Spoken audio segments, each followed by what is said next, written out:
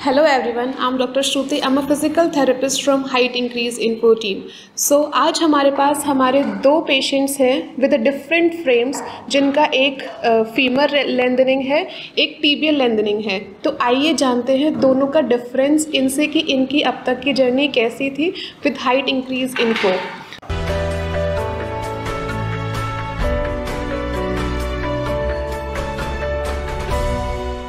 सो so, अभी आपको कितने वीक्स हो गए हैं?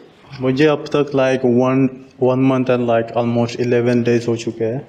और एक्सपीरियंस वाइज फैसिलिटी भी difficult on femur because mobility बहुत कम होती है और पिंस बड़े होने के कारण पिन कटिंग का पेन थोड़ा हाई होता है। लाइक स्लीपिंग में प्रॉब्लम होती है दस से। तो अभी कैसे मैनेज कर रहे हैं आप अपनी एक्टिविटीज़ को? लाइक like, मोस्टली खुद को तो मैं मोटिवेट करता हूँ सुबह उठने के बाद कि लाइक और एक दिन और एक दिन करके लाइक मेरा जो टारगेट है सेवन सेंटीमीटर वो अचीव करना है। पेन होता है पर लाइक कभी तुम्हें कुछ चाहिए तो कुछ मतलब होता है लाइक करना तो पड़ेगा। तो like I motivate myself and I try my best and other activity as well like physio and all I try to give my best okay okay, तो जैसे आपका टीबियल लेंदनिंग है आपका ऑलमोस्ट कंप्लीट हो चुका है। आफ्टर वन वीक आपकी frame uh, removal है।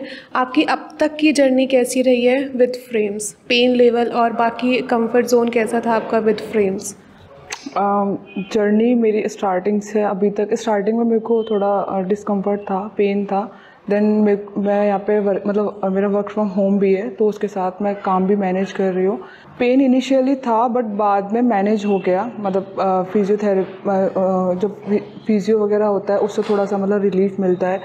उसके अलावा मतलब यहाँ का एटमोसफेयर भी थोड़ा सा ऐसा है कि वो मतलब नहीं पता चलता मतलब काफ़ी फ्रेंड्स वगैरह भी बन गए हैं तो टाइम भी मतलब हो जाता है पता नहीं चलता। उसी उसमें काम भी है तो हाँ उस काम में भी थोड़ा निकल जाता है। चैलेंज रहता है पेन भी होगा वो और वैसे भी पर्सन टू पर्सन डिपेंड करता है। बट मुझे बहुत ज़्यादा पेन नहीं था नर्व थोड़ा सा नर्व प्रॉब्लम और पिन कटिंग का ही मतलब दिक्कत आई थी। बट वो भी मैंने मतलब सम हाउ टैकल की है और अभी कर रही हूँ। और हाँ मेरा अब फ्रेम रिमूवल भी है वन वीक के बाद। तो मैं एक्साइटेड भी हूँ।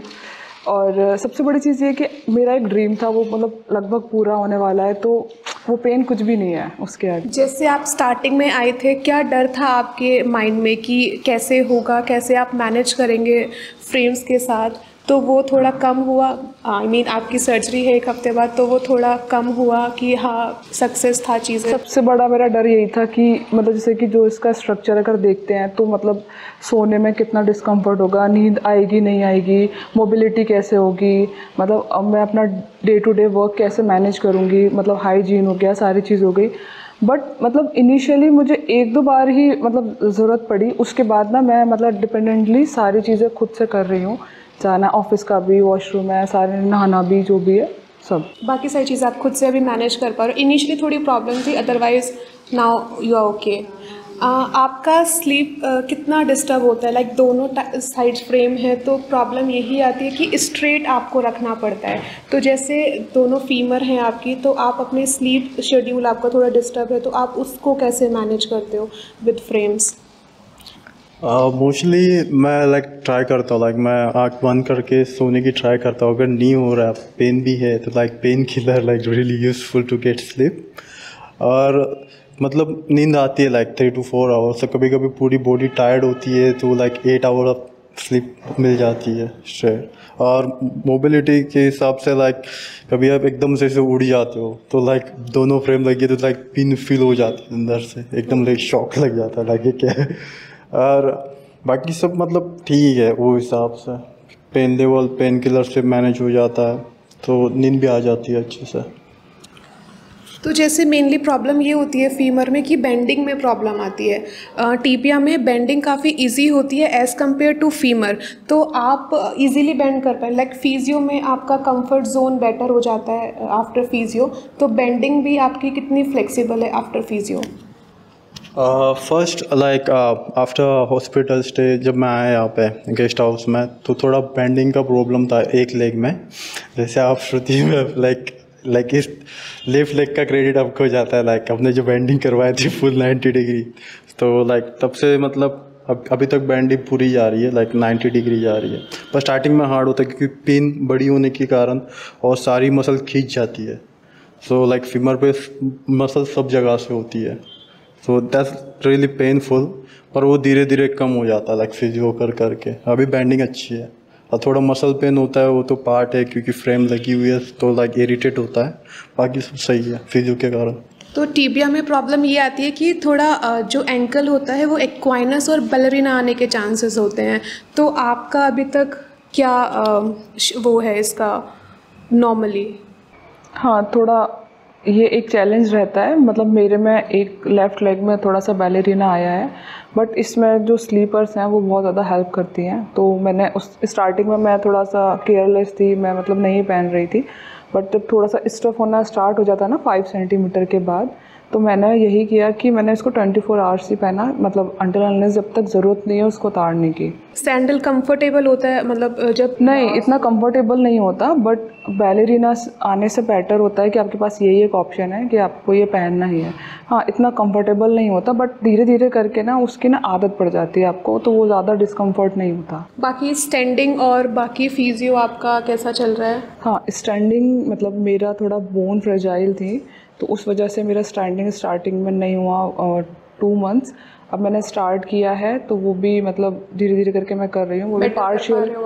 हाँ जी पार्शियल वेट के साथ। मतलब मैंने स्टैंडिंग स्टार्ट किया। उसकी वजह से ना मतलब और ज़्यादा ब्लड फ्लो जो है वो अच्छा हुआ है और मतलब रिलैक्स पहले से ज़्यादा स्टैंडिंग करने के बाद मेरे को अच्छा लगा है। ओके एंड आपका स्टैंडिंग का कैसे कर पा रहे हैं आप? इजीली बेटर है आपका स्टैंडिंग स्टार्टिंग में लिटिल बिट हार्ड था क्योंकि फ़र्स्ट टाइम मैं वॉक कर रहा था पर लाइक सेकेंड जब वॉक में कर रहा था विथ नविस सर तो like it feel really easy और मैं थोड़ा स्पीड में भी वॉक कर पा रहा था with frame with O touches like I don't know what you call but it's like a cycle walker so it was easy like standing and walking but थोड़ा पिन पे प्रेशर आ जाता है तो आफ्टर वॉकिंग के बाद थोड़ा painful हो जाता है. पर दैट्स द पार्ट या तो यहाँ का ओवरऑल अपना टाइम कैसे निकालते हैं? लाइक आपको थ्री वीक्स हो गए हैं यहाँ पे थ्री टू फोर वीक्स आपको यहाँ पे हो गए हैं। Almost like four to five या four to five weeks over here तो आप अपना टाइम कैसे निकालते हैं यहाँ पे? मैं अपना लाइक मोस्टली टाइम लाइक सुबह लाइक ब्रेकफास्ट होता है उसके फिजियो फिर लाइक मोबाइल पे कुछ देख लिया या तो नीचे ही आ गया जिम के लिए।